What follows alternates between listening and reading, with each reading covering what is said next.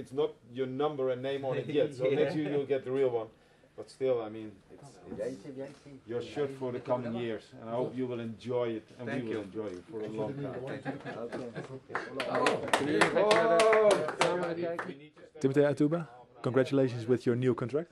Yeah, thank you. What can you tell us about uh, the contract? Uh, just that I'm uh, I'm happy to sign with with uh, Ajax today, and uh, it was uh, a little bit longer, but uh, I think we we finally find the, the the way to work together. Okay. You can see I start to sign in your area. For how long have you signed?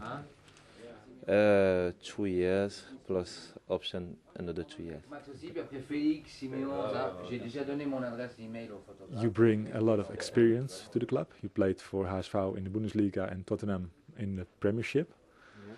What do you expect from the Dutch Eredivisie?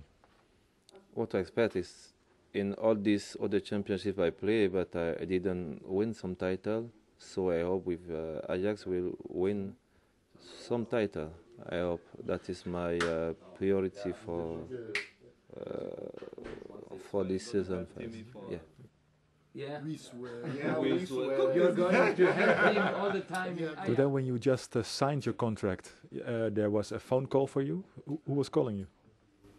Ah, my wife and uh, and then um, the trainer exactly to yeah. congratulate me, uh, and I thanks him because of his confidence again.